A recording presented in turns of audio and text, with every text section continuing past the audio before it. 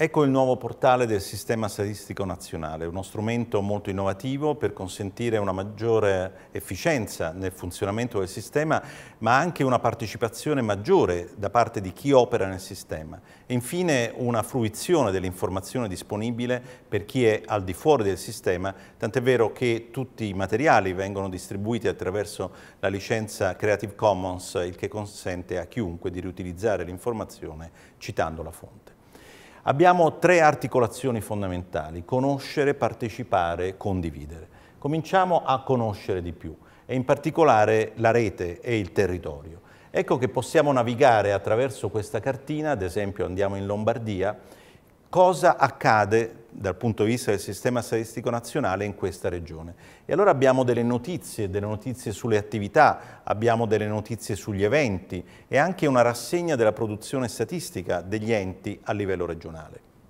Ma abbiamo molto di più, perché infatti abbiamo i soggetti della rete e quindi possiamo andare a vedere ciascun soggetto come è organizzato e che attività svolge, ad esempio le attività in ambito statistico, ad esempio le notizie per convegni, eventi, ma anche il rilascio di nuove informazioni statistiche.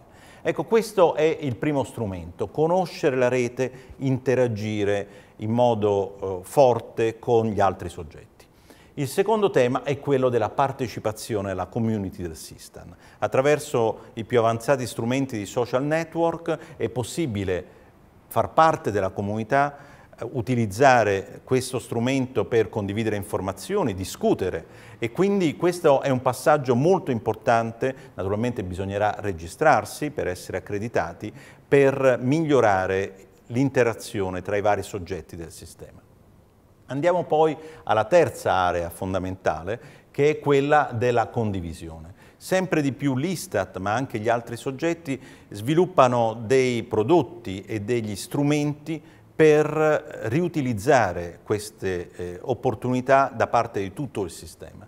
Abbiamo qui, ad esempio, negli strumenti in rete, eh, varie opportunità. Certamente il programma statistico online attraverso cui tutto il sistema contribuisce alla definizione del eh, programma statistico. Abbiamo poi il sistema informativo delle classificazioni ufficiali. Ecco, navighiamo un attimo all'interno di questo e vediamo come è possibile avere qui tutte le classificazioni a disposizione da parte di ciascun ente che può eh, scaricare il contenuto delle eh, informazioni e riutilizzarle come vuole.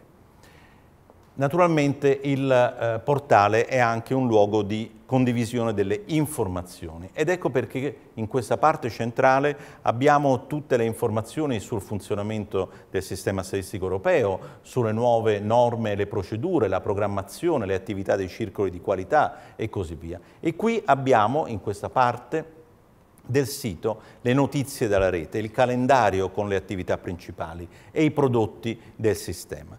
Insomma, uno strumento importante, innovativo, attraverso il quale siamo convinti che il sistema lavorerà meglio, guadagnando efficienza e soprattutto consentendo la partecipazione da parte di tutti i soggetti che fanno parte del sistema. Buon lavoro a tutti.